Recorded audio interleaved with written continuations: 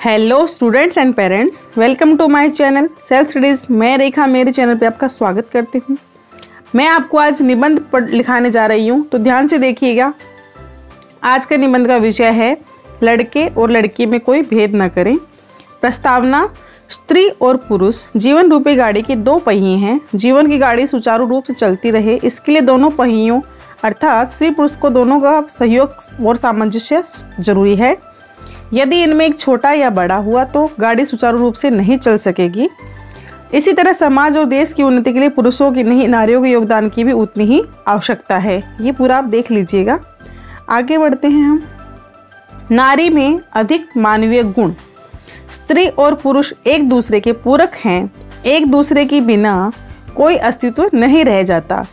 यद्यपि दोनों की शारीरिक संरचना में काफ़ी अंतर है, फिर भी जहाँ तक मानवीय गुणों की बात आती है, वहाँ नारी में अधिक मानवीय गुण मिलते हैं।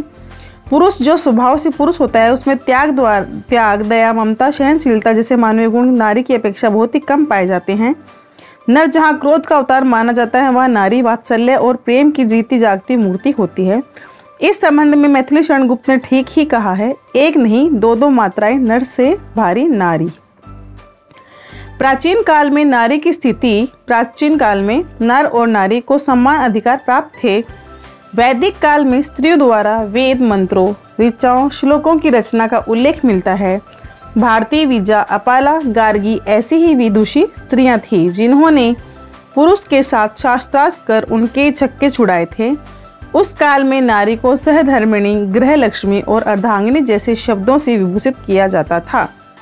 समाज में नारी को सम्मान की दृष्टि से देखा जाता था।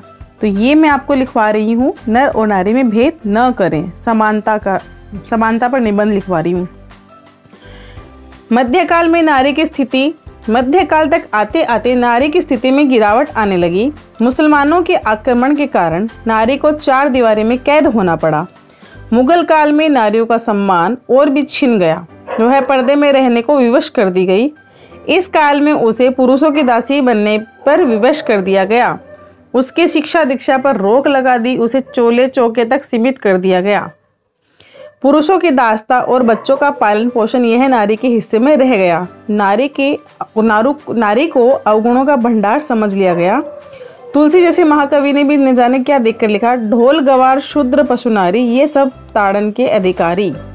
आधुनिक काल में नारी की स्थिति अंग्रेज़ों के शासन के समय तक नारी की स्थिति में सुधार की बात उठने लगी।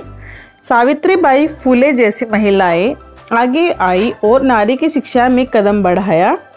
इसी समय राजा राम मोहन राय, स्वामी दयानंद, महात्मा गांधी आदि ने स्त्री सती प्रथा बंद करवाने संपत्ति में अधिकार दिलाने, सामाजिक सम्मान दिलाने, विधवा विवाह, स्त्री शिक्षा आदि की दिशा में ठोस कदम उठाए, क्योंकि इन लोगों ने नारी की पीड़ा को समझा। जयशंकर प्रसाद ने नारियों की स्थिति देखकर लिखा, नारी, तुम केवल श्रद्धा हो, विश्वास रज, रजत नग नग पग तल में, पियो स्त्रोत से बहा करो जीवन के सुंदर समतल में। बहुत ही अच्छी लाइन लिखी इन्होंने।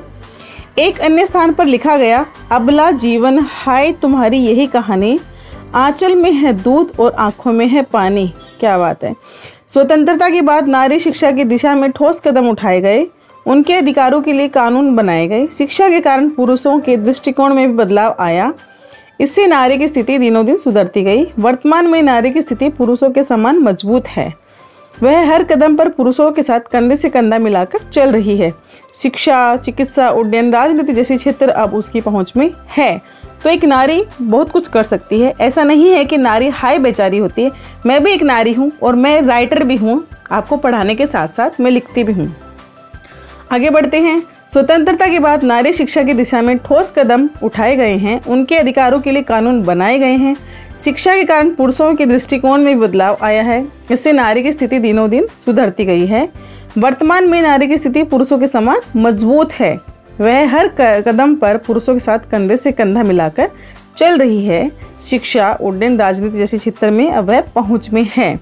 तो स्टूडेंट्स आप ध्यान से देखिएगा, लिखिएगा, समझिएगा और मैं ध्यान से सुनिएगा, मैं क्या करवा रही हूँ। सेल्फ स्टडीज़ को लाइक कीजिएगा शेयर कीजिएगा और सब्सक्राइब कीजिएगा। और अगर आपको पढ़ने का शौक़ है कविता तो आप मुझे सर्च कर सकते हैं। मैजिकल रोर मेरी आईडी का नाम है। आगे बढ़ते हैं। नारी की स्थिति और पुरुष की सोच। समाज में जैसे जैसे पुरुष की सोच में बदलाव आया, नारी की स्थिति में भी बदलाव आता गया। कुछ समय पूर्व कन्याओं को माता पिता और समाज में बोझ समझा जाता था। वह भ्रूण कन्या हत्या द्वारा अजन्मी कन्याओं के बोझ से छुटकारा पा लेता था। यह स्थिति सामाजिक समानता और लिंगानुपात के कारण खतरनाक होती जा रही थी, पर सरकारी प्रयास और पुरुषों की सोच में बदलाव के कारण अब स्थिति बदल गई है। लोग अब लड़कियों को बोझ नहीं समझते। पहले लड़कों के जन्म पर खुशी मनाई जाती थी, वहीं अब लड़की के जन्मदिन भी धूमधाम से मनाने जाने लगा है। हमारे संविधान में स्त्री पुरुष को समानता का दर्जा दिया गया है, पर अब भी समाज को अपनी सोच में उदारता लाने की ज़रूरत है। उपसंहार, घर, परिवार, समाज और राष्ट्र की प्रगति, कल्पना, नारी के योगदान के बिना सोचना, हवा, हवाई बातें रह जाएँगी। अब समाज को पुरुष प्रधान सोच में बदलाव लाते हुए महिलाओं को बराबरी का सम्मान देना चाहिए। इसके लिए लड़का लड़की एक समान की सोच पैदा कर व्यवहार में लाने की शुरुआत कर देनी चाहिए। जैसे कि कहा जाता है कि दो अक्षर का नाम है नारी, लेकिन इसके बिना सारी दुनिया है हाय बेचारी। ये मैंने लिखा है।